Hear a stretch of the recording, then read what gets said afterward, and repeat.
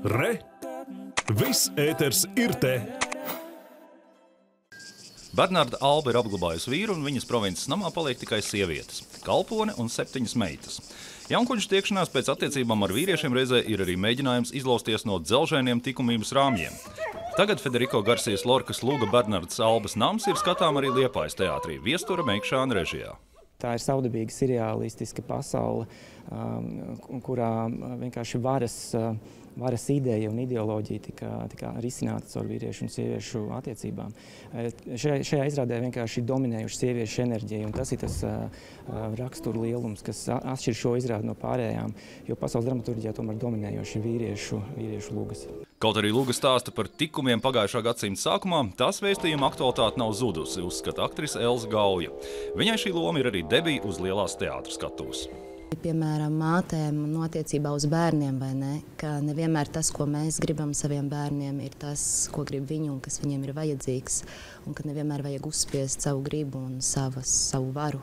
Simbolus Lorkas darbā var lasīt daudz. Arī Meikšānas skatuviskā versija ir kā simboliska glezna, kurā ar grotiskām kustībām un dinamiskām mizanscēnām aktieri pārvēršas par tās elementiem.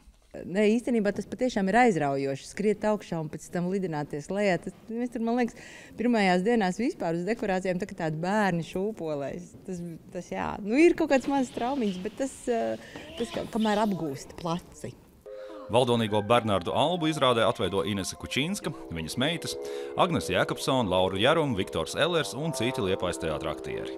Kārtējā izrāde, kurā nu, viesturs pierāda Meikšāns, ka uz viņu izrādēm viennozīmīgi jāatbrauc, tas vienmēr ir notikums, pēc kā ir kādu brīdi pēc tam jāpadomā un jāsaprot. Forma atrasta vai vienmēr piepildīta forma. Tas ir pirmsrādes uzdevums, ir skatītājiem visiem piedāvāt, un tad skatās, kā tas vēl sadzīvojas. Es domāju, ka te ir vesela lieta lietas, kuras noteikti nu, tajā virzienā, kā es strādājuši, būtu jā, ļoti labi sadzīvot. Vizuāli ļoti krāšņi izrāda man šķiet. Izrāda, kas iedarbojas tiešām uz visām maņām. Un man liekas, ka brīnišķīgajām Liepājas teātra aktrisēm, kuras tik tiešām ir personības, to šai izrādē bija iespējams arī parādīt. Jānis Lācis, Ronalds Brants, Latvijas televīzija.